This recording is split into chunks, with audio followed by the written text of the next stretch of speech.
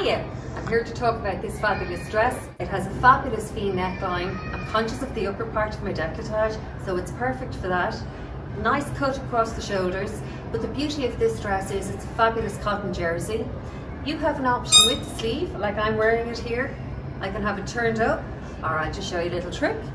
Especially if you have people over and you're catering for those communions or confirmations or Sunday roast, you have the option of a fabulous long sleeve. What I really like about it though is the hip area. It has the beautiful tulip skirt. And on that, if you look here, it has the arch cut at the waist. Put my hands into the pockets and it's below my hips. No bulk, giving me a perfect silhouette and an even better one with the tie at the back.